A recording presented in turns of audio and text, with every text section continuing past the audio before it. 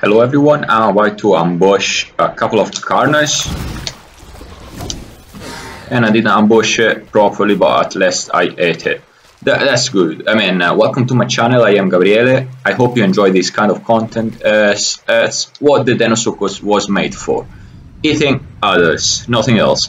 Look, these two Carnos, by the way, just uh, killed a Purteno and Big Croc came by and ate a poor Carno. Uh, it was a failed lunch, but a good bite in the end. Well, thank you so much for watching. I hope you like it. Consider subscribing my channel for more, and have a great day. Bye bye.